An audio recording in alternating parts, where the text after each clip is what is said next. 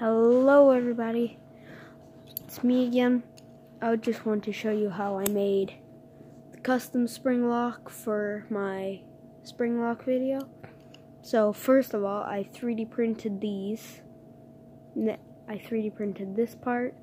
So you just put this in here and see in there, you gotta try and line those up. And then you just I would put a spring in there, which would make it hurt a lot because there are tiny barbs that I stuck onto there bef- after I got done finishing that video. So, yeah, if I do it with this one, it's gonna hurt a lot. Might have to make a part two, but I have a second one here, so I only use that one now. So, bye.